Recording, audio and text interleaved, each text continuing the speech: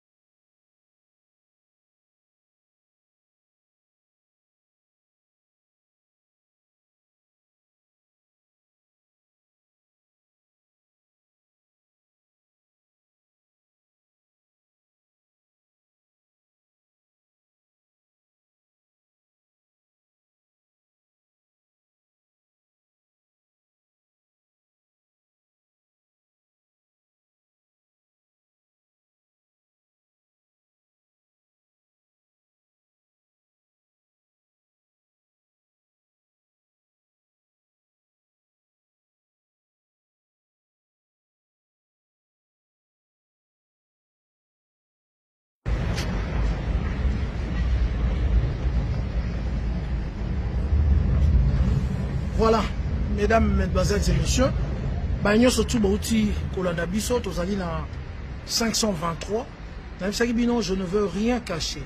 ni l'adresse ni euh, moto oyo akosokipe na makambo oyo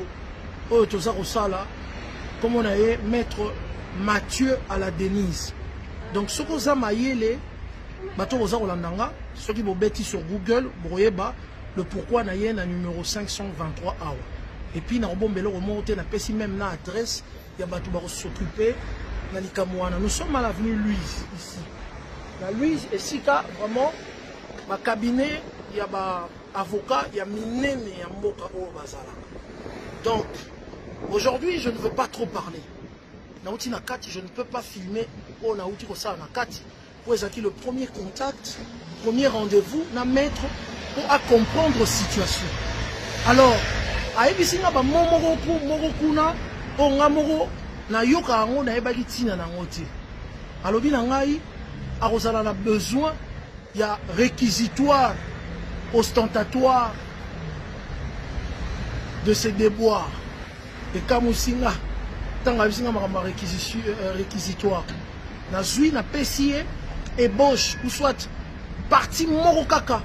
ya baimage ya oyo eza koleka sur internet concernant ngai concernant mpe bato ebele ntango mosusu bazalaka na makasi te ya koya ba esika oyo c'est pour la première fois nga napusana epai ya, ya avocat mpo na kofunda ndeko oyo aza peut-être ndeko na ngai ya mboka ndeko na ngai ya makila na ndenge ya mabe te parce que il faut le dire que j'ai été touché je ne veux pas revenir là-dessus nous allons évoluer et avancer donc maintenant je veux partir nous continuons la suite en tout cas de ce qui va se passer Je remercie tous ceux qui nous ont soutenus. bobengi nga de partout bosoutenir ngai na peine oyo ngai nazalaki nango parce que nanu nalela boye te nanu nalela boye te voir comment on te rabaisse na personnalité et je ne veux pas m'attarder sur ça je veux vous laisser mesdames mesdemoiselles et messieurs à partager ce que je viens de partager avec l'avocat et to intitulé yango JF Efonge le réquisitoire ostentatoire de ses déboires donc bandeko bovanda calme place bozali bomédite botala parce que na kati ya kabino eza na bato bayebi kotraduire biloko na lingala j'ai fait une heure du temps mpo totala juste une partie ya likambo oyo oyo ekozala centre ya procès na biso wana e tointitule yango kaka ndenge avocat alobi alobi me oyo ezali réquisitoire ostentatoire du deboire de la personne concernée alors tolanda yango zala kimia otala soki nga vraiment naza na faute nyonso tomona na internet c'est parce que congolais azalaki large congolais armo akipaka makambo te c'est nos frères on a eu des problèmes sur internet na makambo mosusu mais là ça a vraiment touché oyo balobaka que euh,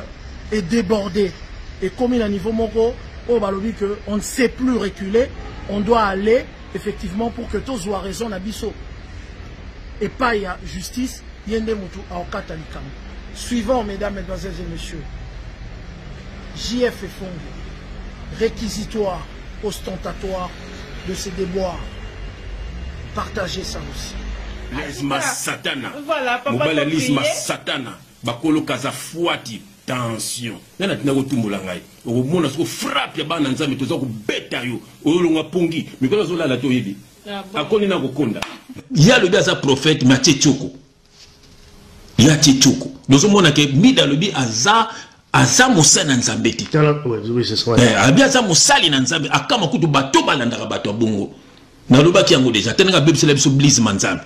liza akoma lokola mami wata ta lelo balise manzambe ta bato lokola balise manzambe ta bato lokola bamampata bango bandimaka babetise ya mibali na bango voilà mibali bosa makambo mabe bango bandimaka mabe wana mpo baza na alliance ya bondoki na bango omoni mwasi aza na lesi abondoki te akolinga kutu te osala mabe eza lokola emi kutino kutino abima na basi ebele ti lelo basere babengaka biso toza na bavox azolinga mwana ya mokie mwana yango atindeli biso yango ozomona eh, azotindela ti azalaki na boloko se na biso na bruxelles awa azosenga ne tinaka bafoto ya bolumbu ozomona sikoyo voilà mais Ami Coutinho ayebi makambu wana. Même na Kisasa so bakangi Coutinho na hotel, ya kendaka abimisi na hotel, abimisi na porte asima. Ba eglise wana lukuta, basengaka ba dime, basengaka ba offrande, babatisaka bato na mayi, bakangisa bato ba jeune, ba biloko ezalaki na tango ya loi ya Moïse. Ozomona?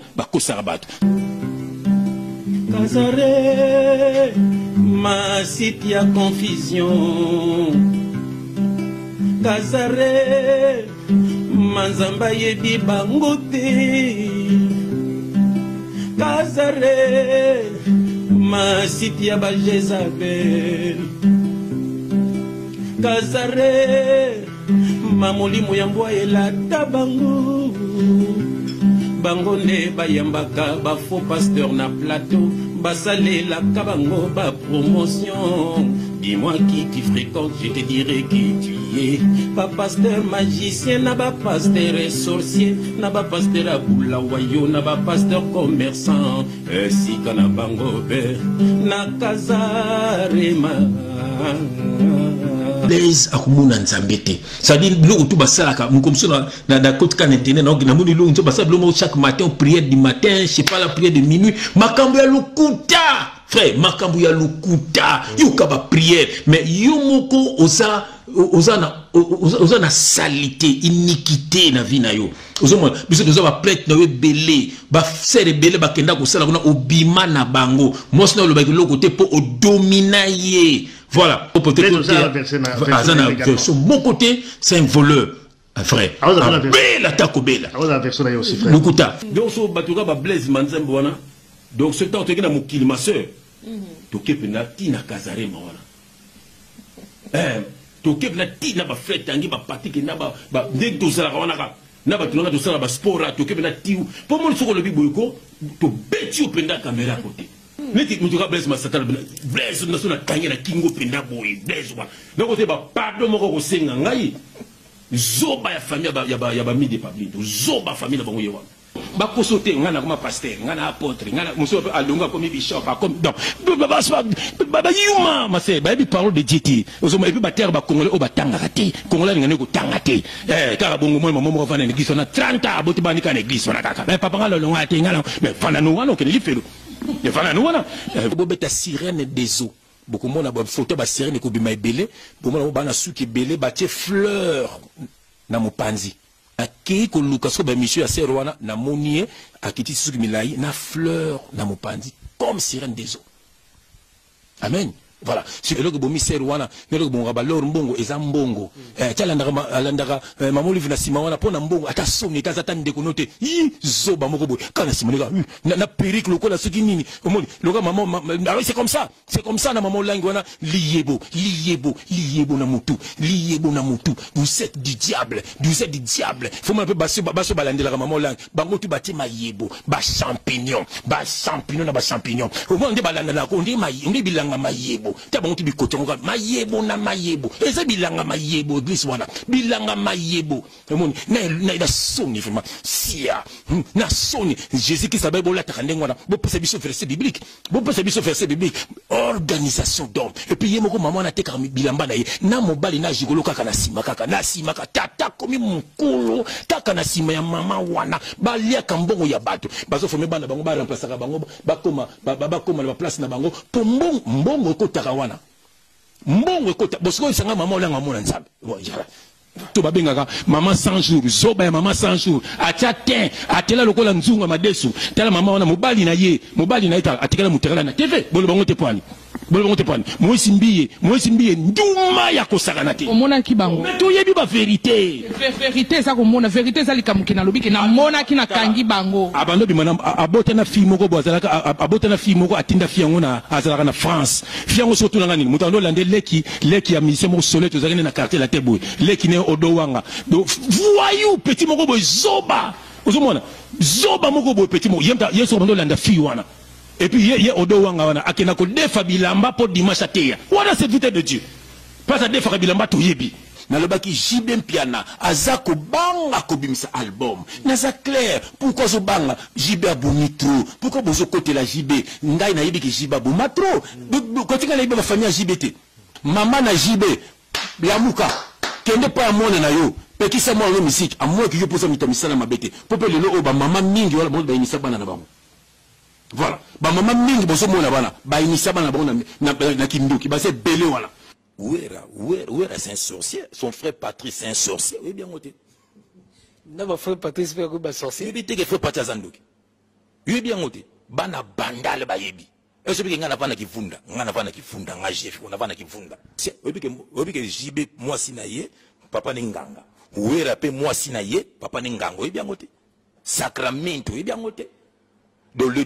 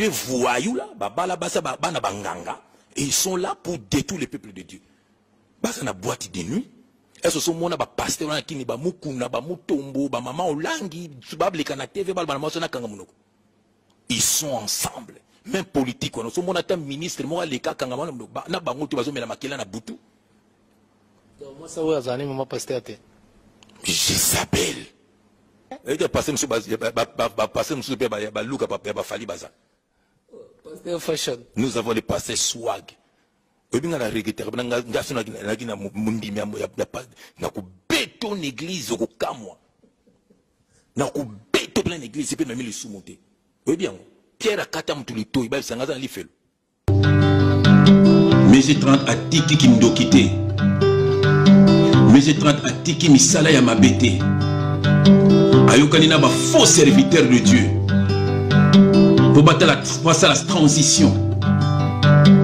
donc sikoyo aya na makambo ya nzambe mpo abanda kodetruire sikoyo na kati ya bonkama nzambe ndenge bandeko nde mari misango basalaka ndenge bamoise mbiye basalaka ndenge bawalesa basalaka bana na satana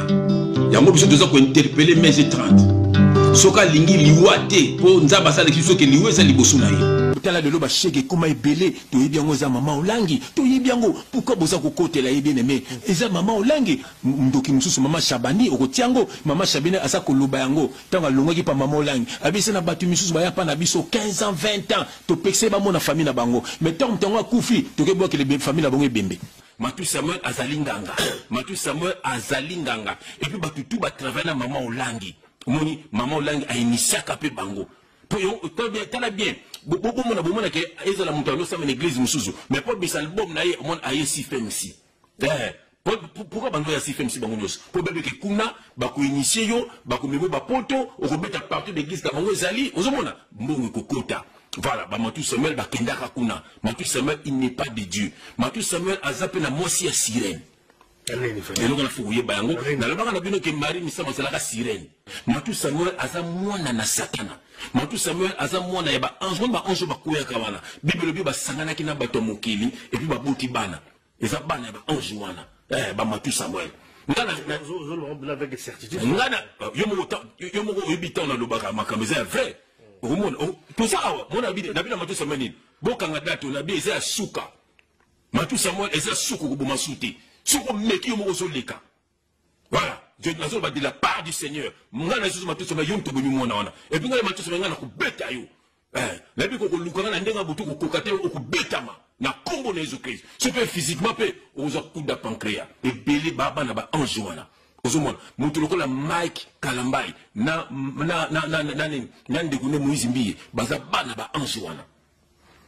eh, baza bana ya baange wana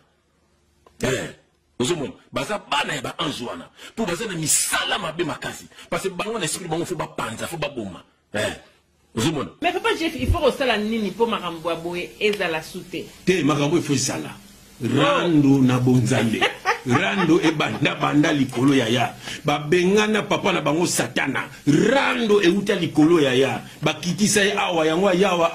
azotinda bango eza rando makambo ekozala mama ekosuka mokolo yesu akoya mbuta nazoloba bango lelo mbuta ozoyokanga soki nakosi leka na tv lobo okosi awa bana tiaka yebi e eh, oyebi ke basere be na nde komona kaka na tv bana na ya poto nasakana na bango nyonso ozomona langage ya moto wana donc ngai naloba nde na banda naloba ke yuma wana aza frère na ngai esi omonaka omonaka ata moto yango omonaka lolenge na ye ye mbuta wana omonaka aza ndeko na ngai quartier latin ebeta olympia nakoloba te mais botala bien na olympia misema oyo azala na papa na mama nde bakufaki ntango tobeti bercy la moi jete la misie moko mpe aza wana mama ne akufaki moko pe papa ne akufaki bo verifier bokomona. Seka siko Fally yo ovandi siko otinda muasi ya Babia kanda ya molimo ya Babia na sima no Fally nazo yebisa ngo lelo kanga date ya lelo Fally molimo ya Babia eza na sima na yo donc yo ozo utiliser muasi ya Babia yo yo Babia na vivant na ye yo Babia yo Fally yo Babia na ki vivant yo otinda mani kalobelo osi liboma onini yango nini ekosa yo Fally Nini ekosa yo? Nini ekosa ba kiso simbi wana ndezo kosa yo? Yo tinda mwasi ya babia, yo mama bana babia alobela yo, afinga batu pona yo. Hein? Donc bien aimé Denis Lessi, c'est un faux serviteur. Ba ba ba ba bande kuna ye ko yebisa bino. Eza na batu mususu baza bikela mo nzambe te. Eza na batu mususu baza bikela mo satana. Pasteur Mbomba achaka chokwa te lazika boom. Pasteur Mbomba amela kadiamba mine pola boom. pasteur bumba achaka zazo achaka yombo boum tala charlatan yeyo bomoni charlatan etala charlatan yeyo bomoni charlatan yango moni deni lesi toza koyebisa ye atika komela diamba atika kotya batioko aziki atika kotya bayombo na motu mpo aza mwana ta nde motema nde funu eza pembe boza mwana nzambe te wa vilain denisali wana kitoko un payen comme ça la ozomona yoka yoka pasteur warrior pasteur gaulois abela ta kobela denis lesi eh, nzambe afrappe ye na nkombo na yesu kristo amwaki nga nzambe atinga na mosala oyo te faux serviteur de dieu frère omoni omoni eza na moko awa ye fona ye nazozelaka arépondre ngai nabeteleka bacrèche nazozela ya mibimisa eh, oh, oyo oh, soit disant journaliste oyo mpe akotelaki dosie mpaka mpo bato bakende kisasa mm. eh, ye nanu ye omoni etinakanga makana wela po papa na ye papa non frère zela papa na ye mm. nganga ne ezalaka sacramento papa ne ayemba sacramento papa ne ayemba yango ozomona donc type wana frère type wana azalaka na malédiction eh, oyo ya papa na ye yango monaka ye abalaka basi bakimaka ye eh, eh, nazozela yo kaka mibimisa Mi bimisa sikoyo na tia na photo na bete ya do yuwe. Mota do nda kumana malamu eh. Eh mota mota kuma Jesus Christ eh. Eh komba ya Paul Konde kimia nazo zela pe yo ozonda photo na yo na nzembu na yo. Faux journaliste. fils du diable fils du diable ozokosa bato ozokosa bato nakoexplike yo mpe soki oyebi te nakoexplike yo ndenge mwasi no akima ndako biloko na oyebi te ngai nayebi yango okokamwa faux faux journaliste bon freto tokota pasamoi na solo ko mi bimisa kaka après na beto ba massage na photo no na nzembu na yo tokota kati ya dossier parce que je vois que tolekisi diama mingi na makambo oyebisanga ya kazarema kazarema babuka oyo lokolo otambolaka na beki babuka yango na kazarema nazozelaka orépondre nga oyoka misile okoswa fils du diable tokota na dossier na biso oh, asali video moko na sac oyo nazokende congo oyo nazokende place moko mwana akende sate boso osani na poto kende kasi congo yango ozomona nyonso wana kaka lipo aza na milimo ya mabe ozomona eh, bango na barosia baka bayokani na ndenge ya kindoki bakosa bana nzambe bakende soki wapi bakende soki wapi mais ye moko aza nano awa ndeso azosala nini natali nehema na na bato nyonso ya lokuta nalingaka yo te nehema nalingaka yo te fomo na kiti avandaka na yango un sorcier ozali sorcier nalobi ozali sorcier ozali sorcier nehema ozali sorcier fomo na ndenge avandaka na kiti yuma moko boye na bato bazosanga azalaka soki na londres yuma ozali yuma oza na poto awa mosu oza wana nani franci lola Awuti abengisa maman 100 jours na eglise na ye, eglise ya Jesus Christ te. Omoni Paul pona ko detruire ka peuple de Dieu. Francis Lola un païen. Yo na yeba yo banda na poto banda kala mutu ya ba chèque, mutu ya lokuta, moyibi. Soki olaki na ministère ya meno na, e ministère ya meno bango tout ba impudique ko banda na Mutombo. Ba impudique na ba impudique. Ata bato ya amen bazali awa, c'est des impudiques na ba impudiques.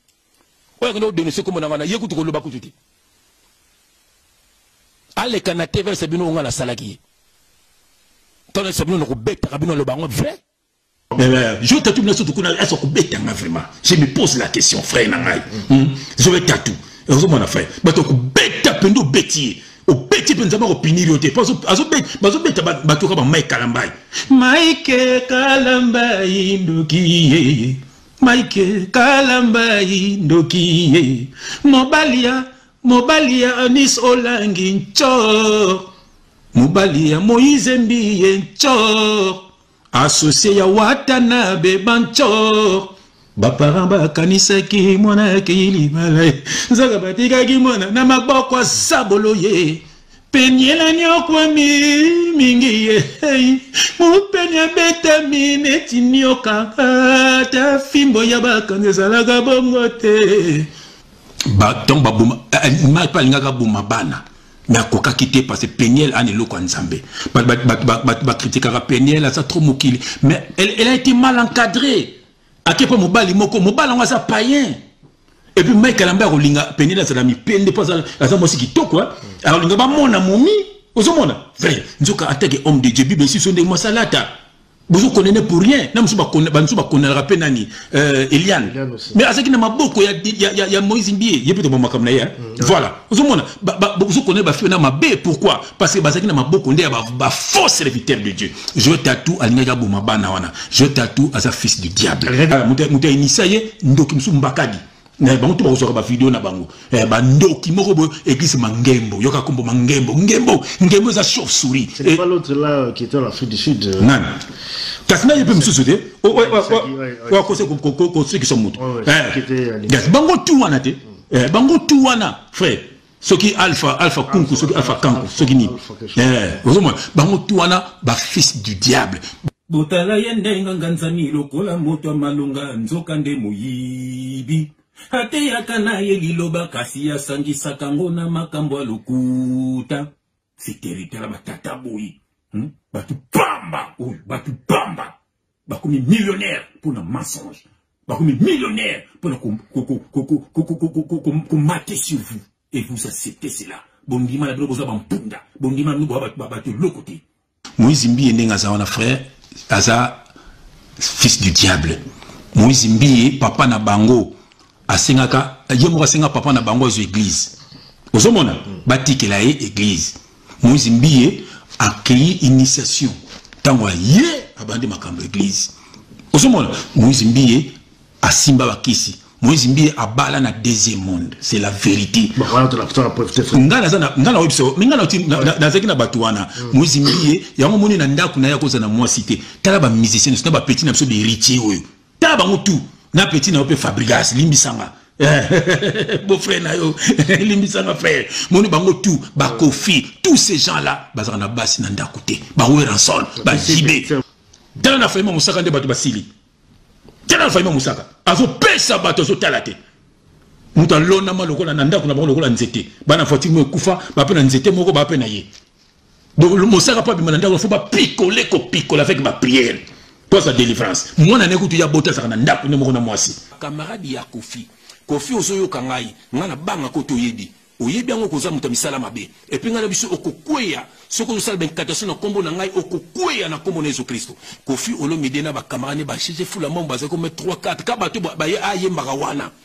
voilà balobi babi butu bobima tozobwakele bafile ezokatana Tozo bakele ba fil ezo katana to ko kange te ah mutu yango ezalaki nani papa wemba et puis papa gwepa me disait tout pour kofila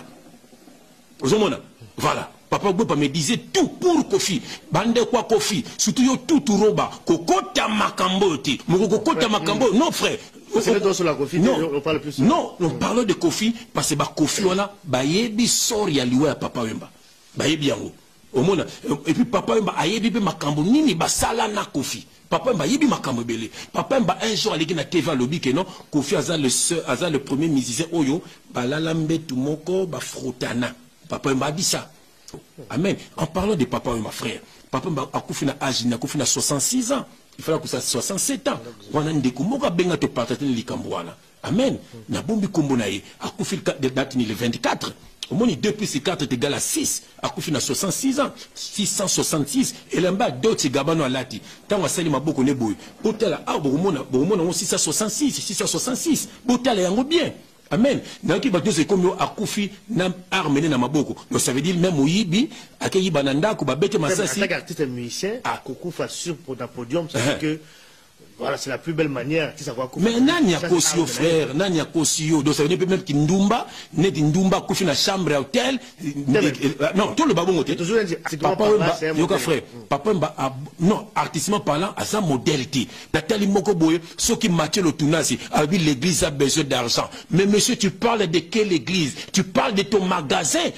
Tu parles de quelle église Oui, c'est toi qui as besoin d'argent, un fainéant. Tu ne sais pas qui, comment on travaille. Tu ne sais pas comment on cherche du travail. Un vagabond comme toi, un vagabond spirituel. Toi, Mathieu Tunasi, ngana linga kayote, yoka ninga lobaka. Il a, il a des jeux de mots. Première fois, natala ye, natalier, na site, ya pamba, pamba, ya kazarema, ya pamba, pamba, ya pamba, pamba. Hmm? Lise manzambite, lise ma satana, na mobali ne ma satana. Ba, yimta ayana, ayana barabas na poto. Yo mukolo kazarema wana yo toyebani malamu nzambe azo frappe bino kala te ngai nayisi bino lelo bokanga date wana ezali site moko mpo babenga ba faux serviteur de dieu basala publicité na bango mwasi na tie meshe lokola un complexe alingaka botema mondele donc ça veut dire ke aye mpo na kodétruire mwasi wana ndenge apesaka ngai kanda mpo na kodétruire bana nzambe osobenga ngai yo mokokomi na esunanima nzambe wana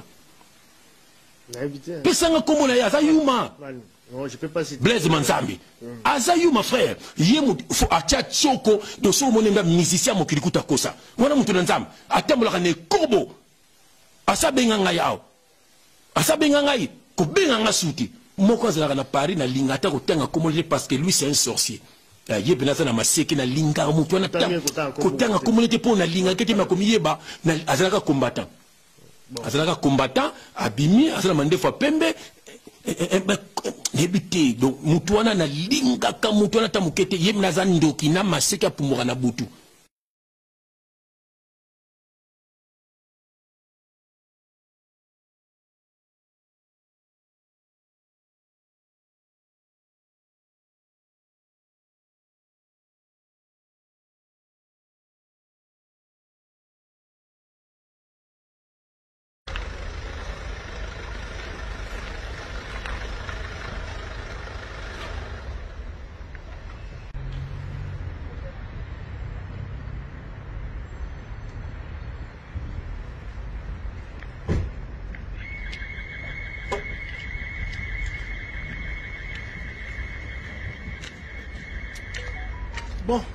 bandeko na ngai oyo boza kolanda nga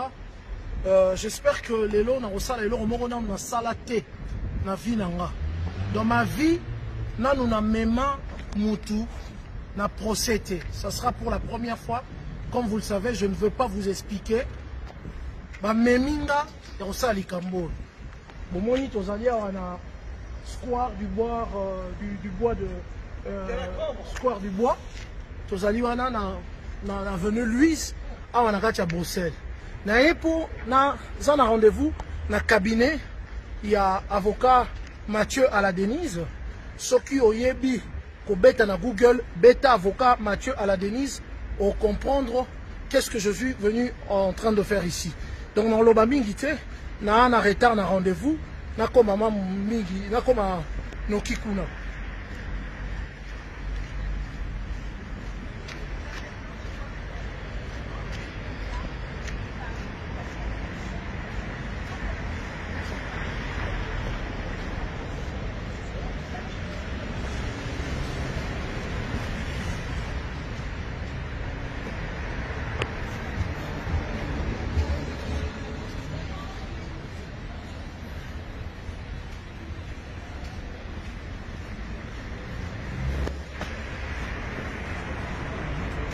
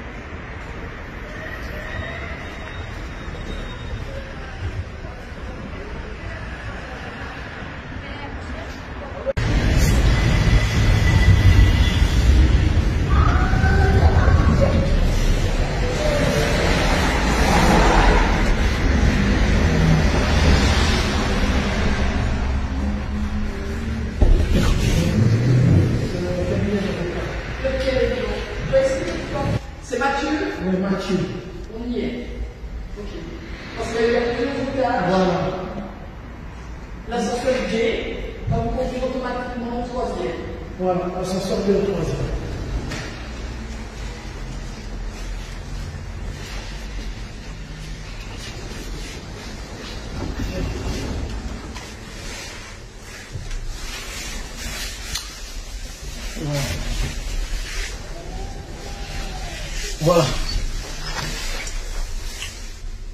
Je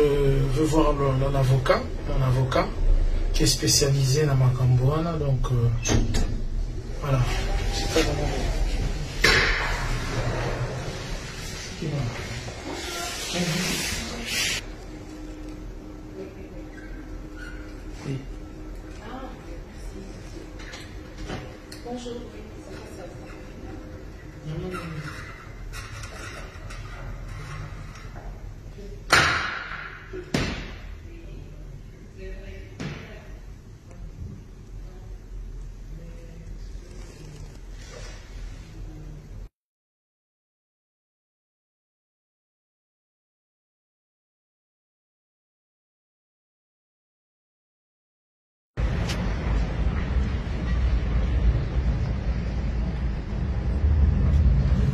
voilà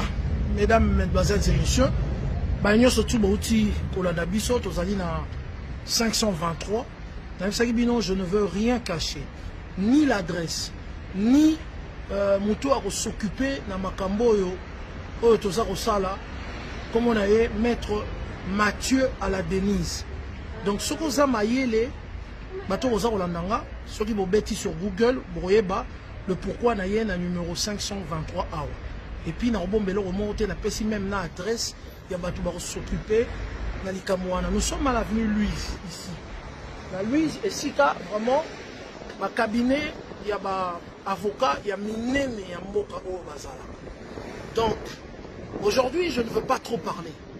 nauti na kati je ne peux pas filmer oyo nauti kosala na kati oyo ezalaki le premier contact premier rendez-vous na maître mpo acomprendre situation alors ayebisi nga bamo moko moko kuna oyo nga moko nayoka yango nayebaki ntina na yango te alobi na ngai akozala na besoin ya réquisitoire ostentatoire de ses déboires ekamwisi nga ntango ayebisi nga makambo ya euh, réquisitoire nazwi napesi ye ebauche ou soit parti moko kaka ya baimage ya oyo eza koleka sur internet concernant ngai concernant mpe bato ebele ntango mosusu bazalaka na makasi te ya koya ba esika oyo c'est pour la première fois nga napusana epai ya, ya avocat mpo na kofunda ndeko oyo aza peut-être ndeko na ngai ya mboka ndeko na ngai ya makila na ndenge ya mabe te parce que il faut le dire que j'ai été touché je ne veux pas revenir là-dessus nous allons évoluer et avancer donc maintenant je veux partir nous continuons la suite en tout cas de ce qui va se passer Je remercie tous ceux qui nous ont soutenus. bobengi nga de partout bosoutenir ngai na peine oyo ngai nazalaki nango parce que nanu nalela boye te nanu nalela boye te voir comment on te rabaisse na personnalité et je ne veux pas m'attarder sur ça je veux vous laisser mesdames mesdemoiselles et messieurs à partager ce que je viens de partager Avec l'avocat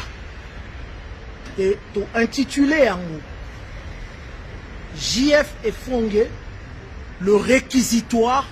ostentatoire de ses déboires. Donc, bandeko, bo vanda calme place bozali, bo méditer. Botala parce que na kati ya cabinet eza na batu bayebi ko traduire biloko na lingala. J'ai fait une heure du temps. mpo totala juste une partie ya likambo oyo oyo ekozala centre ya procès na biso wana e tointitule yango kaka ndenge avocat alobi alobi me oyo ezali réquisitoire ostentatoire du deboire de la personne concernée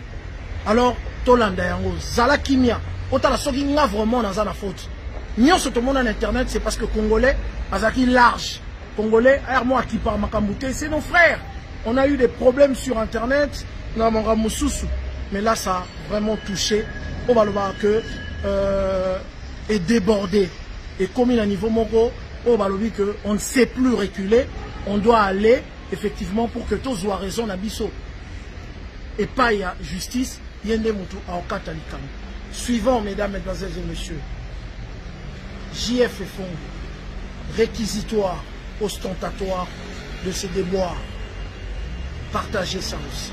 Blaise Masatana. Voilà, papa mobali ya Liz Masatana bakolo kaza fuati tension nga na tina kotumbola ngai okomona soko frappe ya bana nzambe toza kobeta yo oyolonga pongi mikolo azolala te oyebi ah, akoni na kokonda ye alobi aza prophète me atie tioko ye atie tioko bozomona ke mida alobi aza aza mosali na nzambe te eh, abi aza mosali na nzambe akama kutu bato balandaka bato ya bongo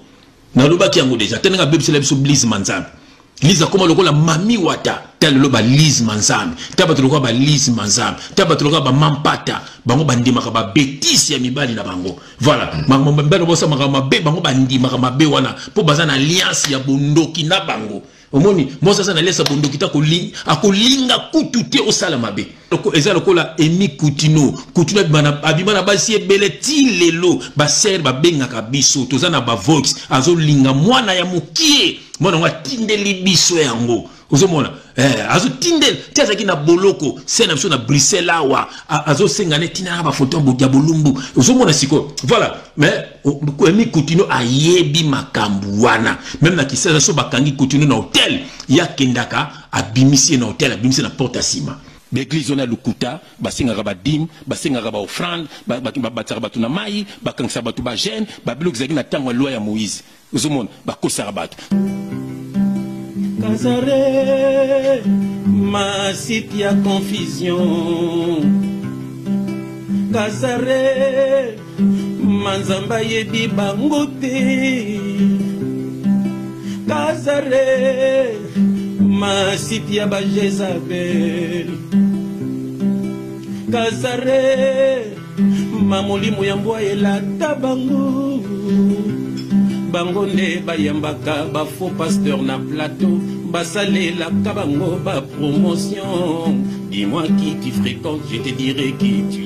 ye ba pasteur magicien na ba pasteur et sorcier na ba pasteur ya bulawayo na ba pasteur commerçant esika na bango be na kazarema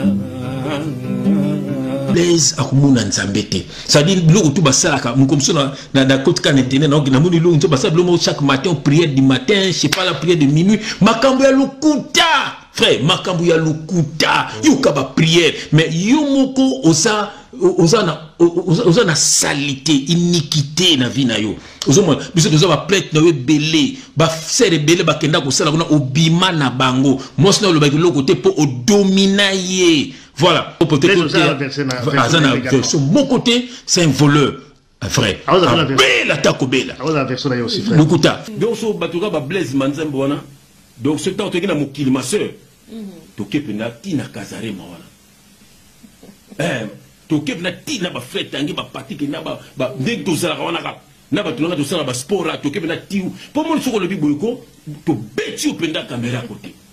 neti moto ka blaise masata alobi blaise na so na tangi na kingo mpenza boye blaise wana nakote ba pardon moko kosenga ngai zoba ya famille ya bami de pablito zoba famille na bango ye wana baposo te ngai nakoma paster ngai na apotre ngai mosusu mpe alongo akomi bishop akomi donc bayuma mase bayebi parole de dieu te ozoma epuis batere bacongolais oyo batangaka te congolais alingani kotanga te eh, kaka bongo moi mama moko afanda na eglise wana 30 aboti bandi kaka na eglise wana kaka eh, papa ngai lolonga te ngai mais fanda no wana okende lifelo bobeta sirene des eaux bokomona bafoto ya basirene ekobima ebele bomona bana suki ebele batie fleur na mopanzi akei koluka soki baemission ya sere wana namoni ye akitisi suki milai na fleur na mopanzi comme sirene des eaux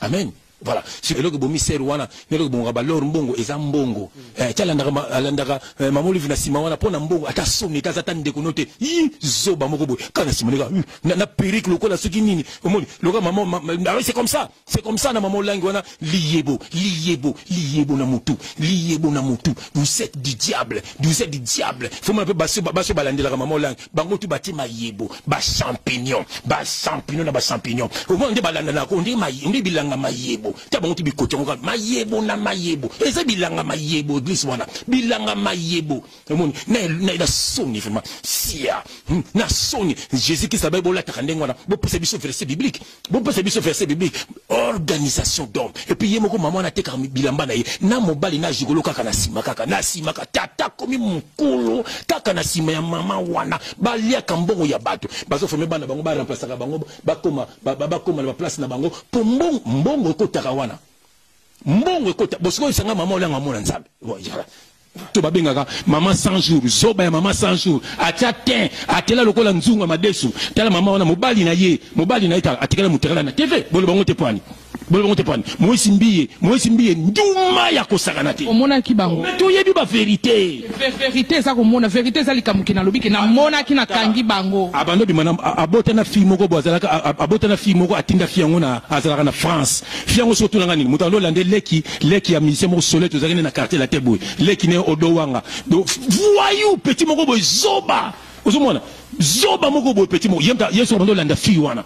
et puis ye ye odo wanga wana akenda kodefa bilamba mpo dimanche ateya wana serviteur de dieu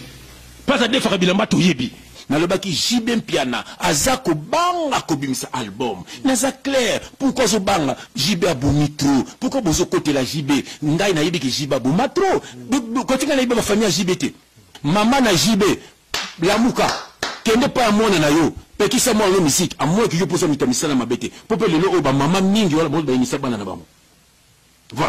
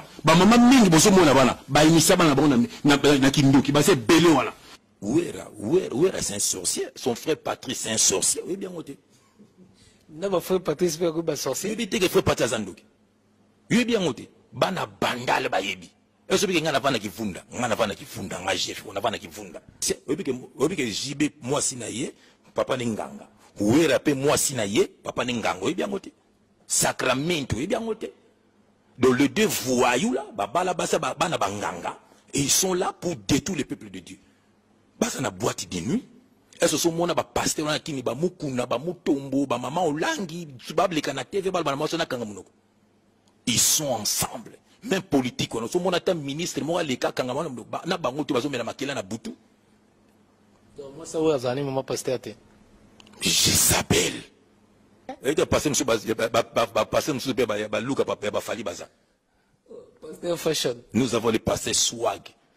oyebi nga na regretaka bana nga so nalaki na mondimi na kobeto na église okokamwa na kobeto mpena na église mpe memi lisumu te oyebi yango pierre akata motu litoi bayebisanga aza na lifelo mese 30 atiki kindoki te mese 30 atiki misala ya mabe te ayokani na ba faux serviteurs de dieu mpo batala basala transition donc sikoyo aya na makambo ya nzambe mpo abanda kodétruire sikoyo na kati ya bonkama nzambe ndenge bandeko nde marie misango basalaka ndenge bamoise mbiye basalaka ndenge bawalesa basalaka bana na satana yango biso toza kointerpele mais e 30 soki alingi liwa te mpo nzambe asalaki biso ke liwa eza liboso na ye tala lelo bashege ekoma ebele toyebi yango eza mama olangi toyebi yango pourkui boza kokotela ye bien aime eza mama olangi ndoki mosusu mama shabani okotia yango mama shabani aza koloba yango ntango alongaki mpa mama olangi abisa na bato misusu baya mpa na biso 15 ans 20 ans Topekisa ye bamona famille na bango mais tango moto yango akufi toke bwakela famille na bango ebembe. Matou Samuel azali nganga. Matou Samuel azali nganga. Et puis bato tout ba travaille na maman Olangi. Omoni maman Olangi a initiaka pe bango. Po yo tala bien, tala bien. Bobo mona bomona ke ezala moto azo samba na église mususu. Mais po bisa album na ye omona aye si femme si. eh, pourquoi bando ya sifem si bango nyonso mpo bebeke kuna bakoinitie yo bakomema bapoto okobeta partout d'église na bango ezali ozomona mbongo ekokota voilà bamatu samuel bakendaka kuna matu samuel il n'est pas de dieu matu samuel aza mpe na mwasi ya sirene eloko na fuku yeba yango nalobaka na bino ke marie misama azalaka sirene matu samuel aza mwana na satana matu samuel aza mwana ya baange mpe baange oyo bakweyaka wana bible elobi basanganaki na bato ya mokili epuis baboti bana eza bana ya baange wana eh, bamatu samuel yo moko oyebi ntango nalobaka makambo eza ya vrai omona oh, toza awa mona nabi na matu samuel nini bokanga date onabi eza ya suka matu samuel eza suku koboma su te soki omeki yo moko ozoleka voilà je nazo ba de la part du seigneur nga na yesu matiso mais yo mto bomi mwana wana et puis nga matiso nga na kubeta yo eh na biko ko lukana na ndenga butu ko kokate o kubetama na kombo na yesu christ ce peut physiquement pe ozo kuda pancréas et belé baba na ba ange wana ozomona moto lokola mike kalambai na na na na na nini na ndeko ne moise mbiye baza bana ba ange wana eh, baza bana ya ba ange wana eh. ozomona baza bana ya baange wana mpo baza na misala mabe makasi parce bango na esprit bango fo bapanza fo baboma eh. ozomona mais papa jeff il faut kosala nini mpo makambo ya boye ezala su te te makambo il faut ezala rando na bonzambe rando ebanda banda likolo ya ya babengana papa na bango satana rando euta likolo ya ya bakitisa ye awa yango ayawa azotinda bango eza rando makambo ekozala mama ekosuka mokolo yesu akoya mbuta nazolo bango lelo mbuta ozoyokanga soki nakosi leka na tv lobo okosi aba bana tiaka yebi e eh, oyebi ke basere be na nde komona kaka na tv bana na ya poto nasakana na bango nyonso Ozo mona langage ya moto wana? Bon nga naloba nde nabanda naloba ke yuma wana aza frère na nga. Est-ce omonaka omonaka ta moto yango omonaka lolenge na ye ye mbuta wana omonaka lole ata ndeko na nga quartier latin ebeta olympia na kotloba te mais botala bien na olympia misema oyo azaka na papa na mama nde bakufaki ntango tobeti bercy la moi j'étais là misie moko mpe aza wana mama ne akufaki moko mpe papa ne akufaki bo verifier bokomona seko seko fali yo ovandi siko otinda mwasi ya babia kanda ya molimo ya babia na nsima no fali nazoyebisa yango lelo kanga data lelo fali molimo ya babia eza na nsima na yo yo ozo utilize mwasi ya babia yo yo babia na vivant na ye yo, yo, yo fali yo babia na kivivant yo otinda mani kalobelo osi liboma onini yango nini ekosa yo fali Nini ekosa yo? Nini ekosa ba kiso simbi wana ndezo kosa yo? Yo tinda mwasi ya babia, yo mama bana babia alobela yo, afinga batu pona yo. Hein? Donc bien aimé Denis Lessi c'est un faux serviteur. Ba ba ba ba bande kuna ye ko yebisa bino. Eza na batu mususu baza bikela mo nzambe te. Eza na batu mususu baza bikela mo satana. Pasteur Mbomba ataka chokwa tela zika boom. Pasteur Mbomba amela kadiamba mine pola boom. pasteur bumba achaka zazo achaka yombo boum tala charlatan yeyo bomoni charlatan etala charlatan yeyo bomoni charlatan yango moni deni lesi toza koyebisa ye atika komela diamba atika kotya bacoko aziki atika kotya bayombo na motu mpo aza mwana tano nde matema nde funu eza pembe boza mwana nzambe te wa vile denisaligo na kitoko un payen komsala ozomona yoka yoka pasteur warrior pasteur gaulois abela ta kobela denis lesi eh, nzambe afrappe ye na nkombo na yesu kristo amwaki nga nzambe atinga na mosala oyo te faux serviteur de dieu frère omoni omoni eza na moko awa ye fona ye nazozelaka arépondre ngai nabetelaka bacrèche nazozela ya mibimisa eh, oh, oyo oh, soit disant journaliste oyo mpe akotelaki dosie baka mpo bato bakende kisasa mm. eh, ye nanu ye omoni etinakangama kana wela po papa na ye papa non frère zela papa na ye hmm. nganga ne ezalaka sacramento papa ne ayemba sacramento papa ne ayemba yango ozomona donc type wana frère type wana azalaka na malédiction eh, oyo ya papa na ye yango monaka ye abalaka basi bakimaka ye eh, eh, nazozela yo kaka mibimisa mibimisa sikoyo natia na photo no na bete ya do yuwe mota do ndako mwana malamu hein eh mwana ko tango ma Jésus Christ hein eh komba ya Paul Konde kimia nazo zela pe yo ozonda photo na yo na nzembu na yo faux journaliste fils du diable fils du diable ozo kosa batu ozo kosa batu hmm? na ko expliquer yo pe ozo oyebite na ko expliquer ndenge mwasi na kimanda biloko na yo yebite nga na yebi yango okokamwa faux faux journaliste bon freto tokota na soloka omibimisa kaka apres na beto bamassage na foto no na nzembu na yo tokota kati ya dossier parce que joaki tolekisi dia mami na makambo oyebisanga ya kazarema kazarema babuka oyo lokolo otambolaka na beki babuka yango na kazarema nazozelaka orepondre nga oyoka misile okoswa fils du diable tokota na dossier na biso oh, asali video moko na sac oyo oh, nazokende congo oyo oh, nazokende place moko mwana akende eza te boso osani na poto kende kasi congo yango te ozomona nyonso wana kaka mpo aza na milimo mabe ozomona eh, bango na baroger baka bayokani na ndenge ya kindoki bakosa bana nzambe bakende soki wapi bakende soki wapi mais ye moko aza nano awa nde biso azosala nini natali nehema nana bato nyonso ya lokuta nalingaka yo te nehema nalingaka yo te fomo na kiti avandaka nango un sorcier ozali sorcier nalobi ozali sorcier ozali sorcier nehema ozali sorcier fomo na ndenge avandaka na kiti yuma moko boye na bato bazosanga azalaka soki na londres yuma ozali yuma oza na poto awa mosu oza wana nani franci lola Awuti abengisa maman 100 jours na eglise na ye, eglise ya Jesus Christ te. Omoni Paul pona ko detruire ka peuple de Dieu. Francis Lola un païen. Yo na yeba yo banda na poto banda kala, mutu ya ba chèque, mutu ya lokuta, moyibi. Soki na ki na ministère amen wana, i ministère amen bango tout ben pidik ko banda na mutombo. Ben pidik na ben pidik. Ata bato ya amen bazali awa, c'est des impidik na ben pidik.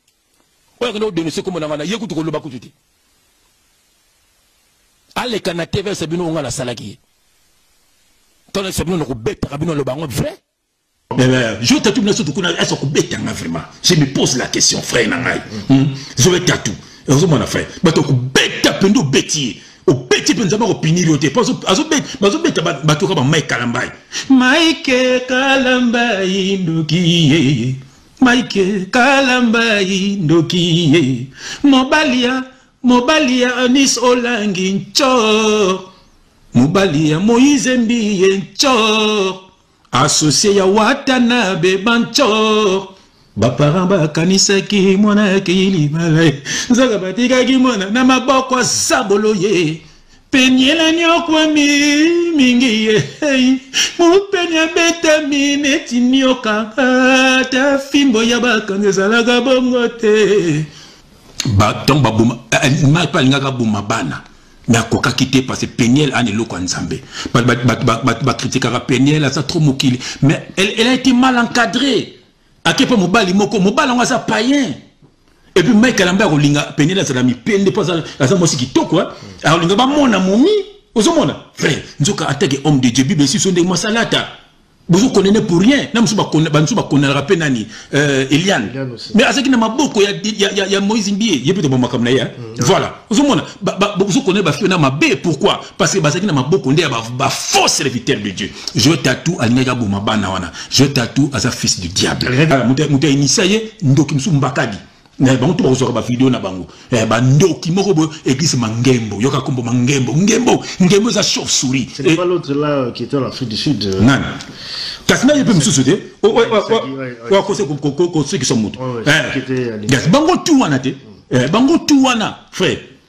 soki alpha alpha kunku soki alpha kanku soki nini eh, ozomona bango tu wana bafils du diable botala ye nde nganganzami lokola moto ya malonga nzoka nde moyibi ateyaka na ye liloba kasi asangisaka ngo na makambo ya lokuta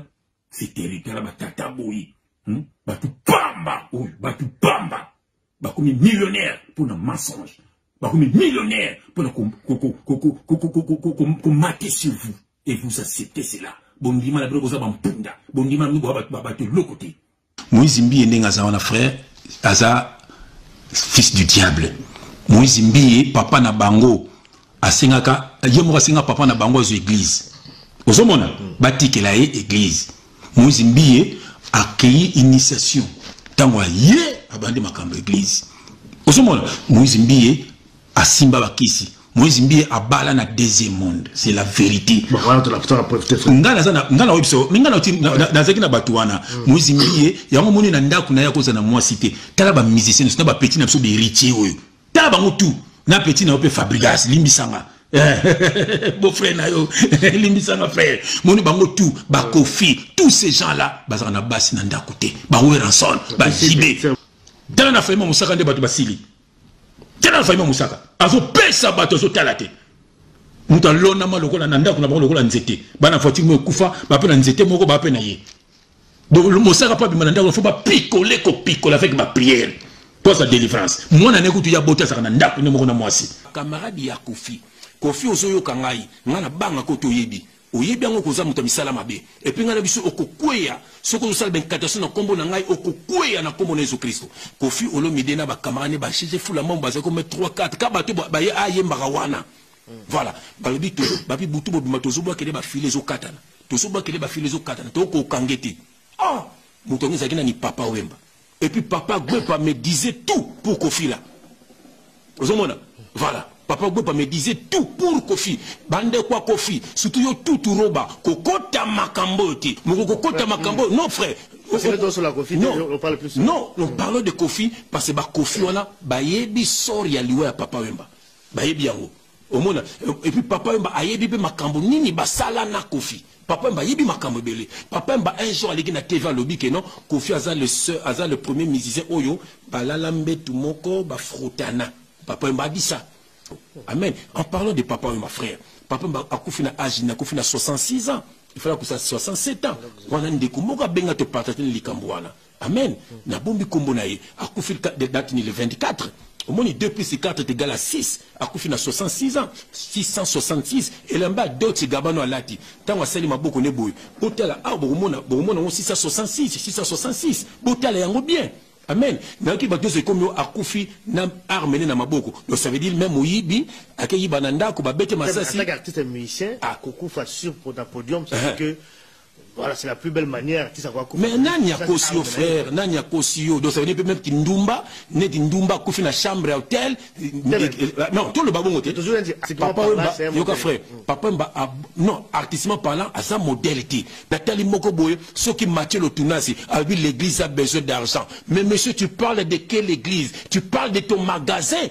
Tu parles de quelle église Oui, c'est toi qui as besoin d'argent, un fainéant. Tu ne sais pas qui, comment on travaille. Tu ne sais pas comment on cherche du travail. Un vagabond comme toi, un vagabond spirituel. Toi, Mathieu Tunasi, ngana linga kayote, yoka ninga lobaka. Il a, il a des jeux de mots. Première fois, natalaye, natalier, na site, ya pamba, pamba, ya kazarema, ya pamba, pamba, ya pamba, pamba. Hmm? Lise manzambite, lise ma satana, na mobali ne ma satana. Ba, yemta ayana, ayana barabas na poto. Yo mokolo kazarema wana yo toyebani malamu nzambe azo frappe bino kala te. Mbote ba papa ba maman ba ndeko mbote ba rando na ba randonette mbote bato oyo balingaka rando na ba oyo balingaka rando te mbote ba jeune garçon na ba jeunes filles, mbote bana mike na ba bebe, mbote ba sainte Anuarite, sainte Therèse, sainte Ingrid Kabongo. Ba ndeko faut koyeba makambu oyo Marc Tabu akeyi ko portele frère JF Ifonge alakisi biso yango. Marc Kitabo alakisi biso cabinet ya b'avocats oyo akeyi mpo na ko porter plainte, basala ba demarches, batala ndenge bako porter JF Ifonge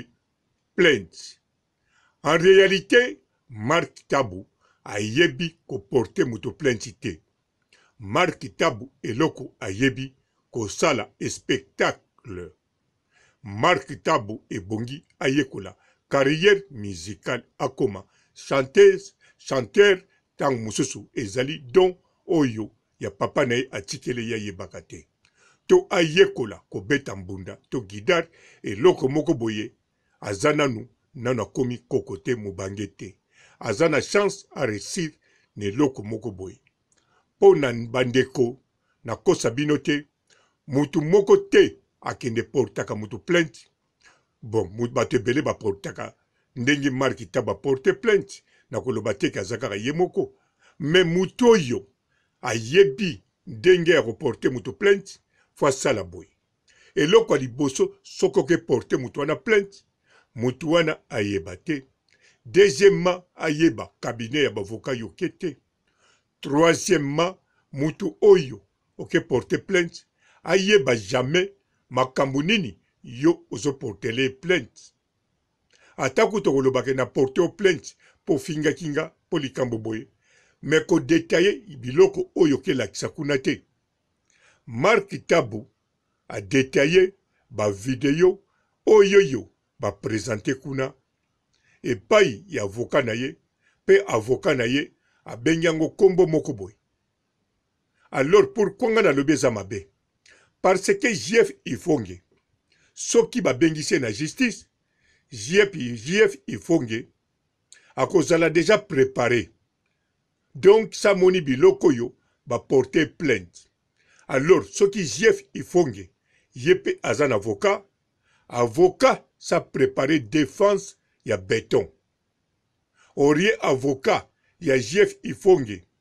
akende kutana na makambo yango bakizasio yango kuna na tribunal bongo aluka ndenge ako se defendre ou bien abenda na sima mais avocat ya JF Ifonge akomona deja Biloko oyo Marc Tabu a porter plainte en detail alors eza cadeau.